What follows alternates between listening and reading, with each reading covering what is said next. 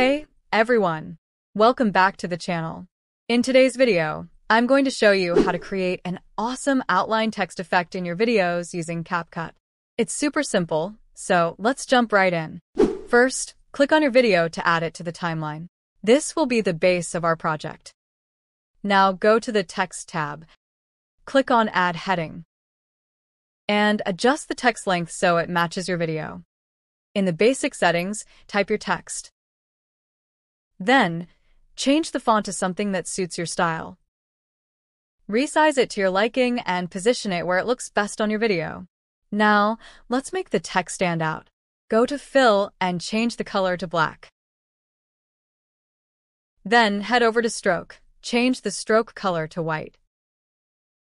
And set the stroke size to 10 for that bold outline effect. Once the text looks good, delete the video from the timeline, leaving just the text. Now, export this text-only video. After exporting, hit the undo button a few times until your original video with the white text reappears. Go to Media and upload the exported text back into CapCut. This will be our overlay for the outline effect. Now, select your original video and duplicate it as an overlay. Adjust its position so it aligns perfectly with your main video. With the overlay selected, go to Smart Tools, Remove Background. Choose Auto Remove and let CapCut automatically take care of it. Finally, drag your exported text into the timeline as an overlay. Go to Basic and change the blending mode to screen.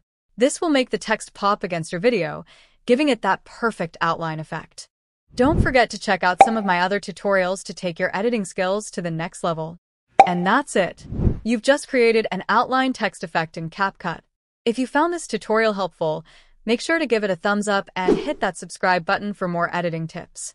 Thanks for watching, and I'll see you in the next video.